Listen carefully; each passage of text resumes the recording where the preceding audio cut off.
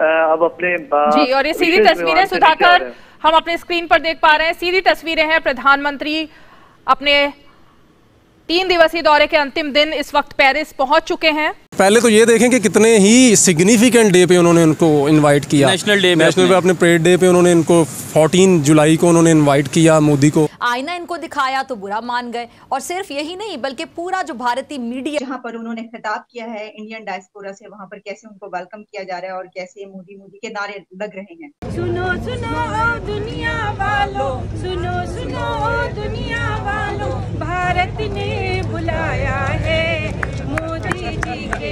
भारत को आगे और बढ़ाना है मोदी जी के देखा आपने और व्हाइट हाउस ने जो रद्द अमल दिया इस पे उसका भी जरा क्लिप होगा टीम चलाइए। क्योंकि फ्रांस के लिए सबसे महत्वपूर्ण दिन आने वाला है। ये दिन फ्रांस के लिए दो कारणों से बेहद महत्वपूर्ण होने वाला है। क्योंकि फ्रांस के लोग जिस दिन का पूरे साल इंतज़ार करते हैं आप उनकी बात करते हैं ना हम एक सादा सी मिसाल ले लेते हैं एक घर के अंदर जो बच्चा सबसे ज़्यादा कमाता हो ना हाँ, हाँ। घर वाले उसको ज़्यादा यानी कि रिस्पॉन्ड करते हैं। उसको हर लिहाज से प्रेफरेंस को करते हैं ठीक है? नमस्कार दोस्तों मेरा नाम अनुज धीमान और आप देख रहे हैं नेशन ब्रू प्रधानमंत्री मोदी पहुँच चुके हैं फ्रांस और उनका बहुत ज़्यादा भव्य स्वागत किया जा रहा है। इस साल जो फ्रांस का नेशनल डे था उस पर चीफ गेस्ट जो थे वो प्रधानमंत्री मोदी थे। अब ये सारे जो वीडियो हैं ये सारी खबरें जब पाकिस्तान के अंदर जाते हैं तो लोग बहुत ज़्यादा निराश हो जाते हैं। मीडिया कहती है कि जब हमारे प्रधानमंत्री जाते हैं तो उनकी तो कोई इज़्ज़त ही नहीं है। वो तो भीख मांगने के लिए जाते हैं और जबकि फ्रांस के अंदर मोदी मोदी के नारे लग रहे हैं। पहले आप वीडियो देखिए, फिर हम बात करते हैं इस टॉपिक पर। मेरा सवाल ये है कि जो फ्रांस में या कहीं पे भी हमारे प्राइम मिनिस्टर जाते हैं, वहाँ पर पाकिस्तानी मौजूद होते हैं, वो वेलकम क्यों नहीं करते? उल्टा उन्हें, उनके अगेंस्ट प्रोटेस्ट करते नज़र आते हैं। मेरा ये सवाल है कि मतलब जाते हैं, अगर शबाज शरीफ जाएँ, जैसे अभी इंडिया के प्राइम मिनिस्टर गए हैं तो वहाँ पे ये नारे लगे हैं, मोदी है तो मुमकिन है, वहाँ पे नारे लगे हैं मतलब उनके प्राइम मिनिस्टर के हवाले से। तो हमारे जब प्राइम मिनिस्टर जाते हैं, क्यों नहीं उस तरीके से रिस्पेक्ट दी जाती? ये बात ये है कि हमारे प्राइम मिनिस्टर होते हैं ना इलेक्टेड हाँ हाँ। एक इलेक्शन के थ्रू आते तो पब्लिक को पता भी होता है कि ये एक पार्टी का क्या कहते हैं इलेक्टेड प्राइम मिनिस्टर है। और इंडिया के प्राइम मिनिस्टर फ्रांस के विज़िट पे हैं और वहाँ के जो इंडियन डायस्पोरा हैं उन्होंने बहुत वार्म वेलकम किया। उससे पहले वो यूएस के विज़िट पे गए वहाँ पे बहुत वार्म वेलकम किया गया। जापान गए वहाँ बहुत वार्म वेलकम किया गया। पाकिस्तान के प्राइम मिनिस्टर भी रिसेंटली फ्रांस गए थे। वहाँ पर उनका किस तरीके से वेलकम किया गया? पाकिस्तानी तो वहाँ पर भी मौजूद है ना फ्रांस में। बात यह कि जैसे आपने कहा था कि यूएस में उनके प्राइम मिनिस्टर गए हैं हम्म। अब इंडिया की इकोनॉमी टॉप फाइव में आ चुकी है। आ गई है टॉप फाइव टॉप फाइव में आ चुकी है और उनको वहाँ पर स्टेट डिनर दिया गया है। ठीक है।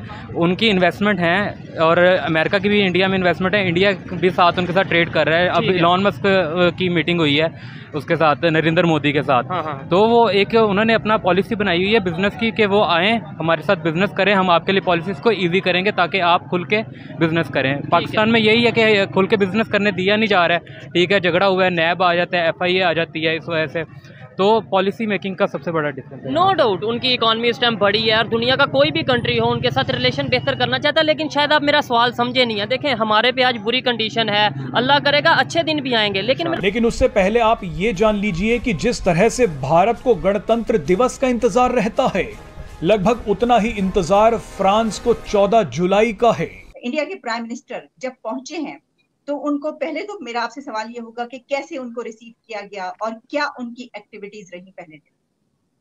देखिए, आज वो कोई एक बजे यहाँ पे पेरिस पहुँचे हैं। खसूसी फ़्लाइट के ज़रिए यहाँ पे पेरिस पहुँचे हैं। तो यहाँ के जो प्राइम मिनिस्टर है उन्होंने मोदी साहब को जो है वो रिसीव किया है रेड कारपेटेड और हमने देखा कि बहुत ही कम जो मौाक़े होते हैं कि जब वो फ्रांसीसी प्राइम मिनिस्टर खुद एयरपोर्ट जाके किसी भी मुल्क के सरबराह को वो रिसीव करती है, उसके बाद नरेंद्र मोदी साहब जो है वो अपने होटल वापस जाते हैं, उस और वहाँ पे कुछ टाइम आराम करने के बाद यहाँ के जो फ्रेंच सेनेटर्स हैं उनके साथ एक मीटिंग उनकी होती है जिसमें हिंदुस्तान और फ्रांस के दरमियान ताल्लुकात के हवाले से कुछ माहों के हवाले से बातचीत की जाती है। हाँ, देखिए आपने अगर पहले ये कहना अगर ये आप उनके साथ कंपैरिजन कर रहे हैं या वैसे बात कर रहे हैं? मैं वैसे बात करने की कंपैरिजन कर भी नहीं सकते। अच्छा। सॉरी टू से ठीक है मैं एज ए पाकिस्तानी मोहब्बत वतन पाकिस्तानी हूँ ठीक है लेकिन रियलिटी पसंद हूँ। वो रियलिटी ये है कि हम उनके साथ कंपैरिजन नहीं कर सकते। आप उनकी बात करते हैं ना हम एक सादा सी मिसाल ले लेते हैं कि एक घर के अंदर जो बच्चा सबसे ज़्यादा कमाता हो ना हाँ, हाँ। घर वाले उसको ज़्यादा यानी कि रिस्पॉन्ड करते हैं उसको हर लिहाज से प्रेफरेंस को करते हैं ठीक है। इसी तरह इंडिया है। इंडिया देखे दुनिया के अंदर ना एक अच्छा एक अच्छा उनका इम्प्रेशन है ठीक है। अमीर आदमी है बड़ी मार्केट है ठीक है। वो फ़ायदा देते हैं। इंटरनेशनल लेवल पे कोई एक दूसरे के साथ मोहब्बतें नहीं करनी होती एक दूसरे के साथ बेनिफिट होते हैं। ठीक है। अगर बेनिफिट आप एक दूसरे को अच्छे दे रहे हैं आप अच्छे चलते रहेंगे। जहाँ पे आपका बेनिफिट क्रैश होगा वहाँ पे अब चीज़ें टूटना खत्म होना शुरू हो जाएँगी। सो इंडिया जो है ना इंडिया हमसे बहुत बेहतर है। अगर हम अपनी बात करें देखें हमारे जो इसको क्या है, इस बात को डिस्कस करें लेकिन करनी पड़ती है रियलिटी है ठीक है? कि हमारे मुल्क के अंदर जो हमारे जो सियासतदान है ना जो हमारे प्राइम मिनिस्टर साहब हैं जो भी रहे हैं माजी में भी रहे हैं या अभी भी सबकी स्ट्रेटजीज एक ही है सबकी पॉलिसी एक ही है सबकी मैंटेलिटी एक ही है। और वो बड़ी चीप मैंटेलिटी कि हमने जहाँ पे भी जाना है जाके मांगना है। अच्छा आप ओवरसीज पाकिस्तानी है जहाँ पे आप बात कर रहे हैं जहाँ पे भी जाते हैं पाकिस्तानी वो उस तरीके से आगे क्यों नहीं खड़े होते? इवन अक्सर कहीं पे तो प्रोटेस्ट करते नज़र आते हैं वेलकम करते नज़र नहीं आते। हमारी उस तरह डिग्निटी नहीं है यार। अच्छा। वो जिस वजह से भी हमारी डिग्निटी इंटरनेशनल लेवल पे नहीं है वो अलहदा बात है लेकिन उस तरह डिग्निटी नहीं हाँ, है हाँ। ठीक है। एक हमारी यानी कि हमारा इदारे हैं इदारों में से जो टॉप ऑफ़ द यानी कि हमारी पाक आर्मी है उन लोगों की वजह से हमारी डिग्निटी है। इस बार की बेस्टिल डे परेड में फ्रांस के आसमान में भारत के राफेल लड़ाकू विमान गरजेंगे। पीएम मोदी को फ्रांस की इसी सैन्य परेड बेस्टिल डे में बतौर चीफ गेस्ट के तौर पर बुलाया गया है।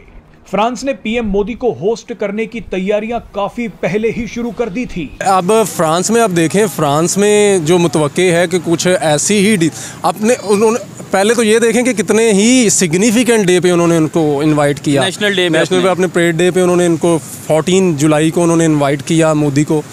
अच्छा उसके इनवाइट करने के पीछे आप रीज़न देखें कि जनाब क्यों हर तरफ़ मोदी अभी रीसेंट एक स्टेटमेंट आई है उनके जो पैसिफिक इंडो पैसिफिक का जो उनका सिक्योरिटी का कोऑर्डिनेटर है कैम्बल उसकी तरफ़ से स्टेटमेंट आती है कि जनाब ये दुनिया का सबसे सिग्निफिकेंट जो रिलेशनशिप या पार्टनरशिप हुई है एग्रीमेंट हुआ है वो जनाब इंडिया और यूएसए के दरमियान हुआ है। और उसके बाद वो जाते हैं यहाँ पे आ, आ, रिवर सीन के ऊपर एक पिछले दिनों पिछले कुछ दिन पहले आ, आ, एक फेस्टिवल हुआ था इंडियन कल्चर को प्रमोशन के हवाले से जिसका नाम था आ, नमस्ते फ्रांस।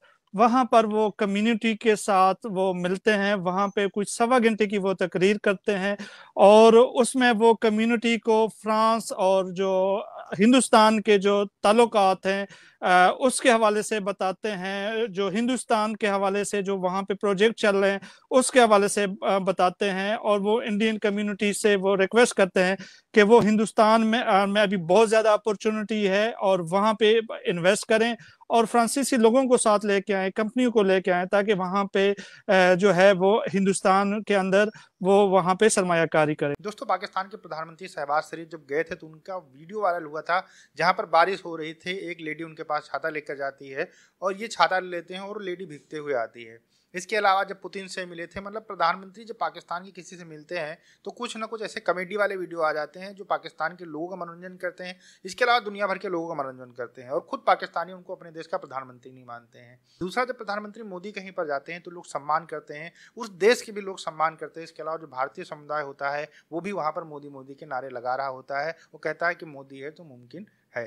तो ये ओवरऑल सनेरियो ये है कि जब पढ़ी लिखी एक जनता होगी, लोग होंगे, उस देश के तो अपने प्रधानमंत्री की इज़्ज़त करेंगे और जब पढ़े लिखे लोग नहीं होंगे तो इज़्ज़त नहीं करेंगे। पाकिस्तान के अंदर जो लोग रहते हैं और जो बाहर लोग रहते हैं, वो एक्चुअल में शहबाज शरीफ को अपना प्रधानमंत्री मानते ही नहीं है, इसलिए उनका स्वागत करने के लिए नहीं आते हैं। तो ज़ाहिर सी बात है, जिस देश के प्रधानमंत्री की इज़्ज़त कोई नहीं करेगा तो दूसरे देश वाले कैसे करेंगे? और हम कोई मांगने तो जाते नहीं हैं, हम कोई भिखारी तो है नहीं, और आपका देश का प्रधानमंत्री खुद कहता कि हम भिखारी हैं, इसीलिए लोग आपकी इज़्ज़त नहीं करते हैं। दोस्तों, वीडियो कैसा लगा हमें कमेंट सेक्शन में ज़रूर बताइएगा, मिलते हैं नए वीडियो के साथ, नमस्कार, धन्यवाद, जय हिंद, जय भारत।